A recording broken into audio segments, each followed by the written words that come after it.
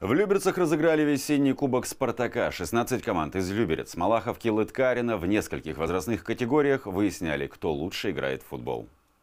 Азарт, мальчишеский задор и жажда гола. Кубок «Спартака» среди детских футбольных команд – это больше, чем обычный турнир. На таких соревнованиях у ребят вырабатывается характер и воля к победе.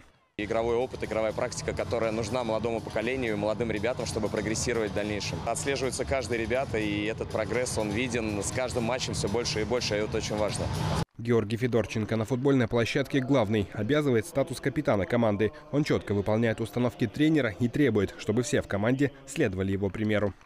Защитники должны от, отбирать мяч у нападающих, которые атакуют противники. Нападающим я говорю, что надо тянуть носочек и будет лучше удар.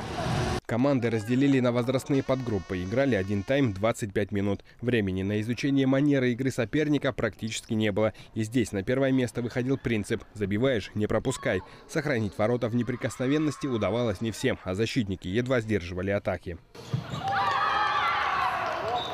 Футбол в Люберцах по праву считается одним из популярных видов спорта. В секциях городского округа им занимаются более двух тысяч ребят. В России все любят футбол, поэтому я думаю, что среди ребят, которые сегодня занимаются футболом, э, с замечательными тренерами, возможно, будут и будущие чемпионы России, мира, Олимпийских игр. Победители и призеры турнира получили кубки и медали, отметили и лучших игроков команд. Им вручили памятные дипломы. Григорий Ворванин, Петр Пономаренко, телеканал ЛРТ.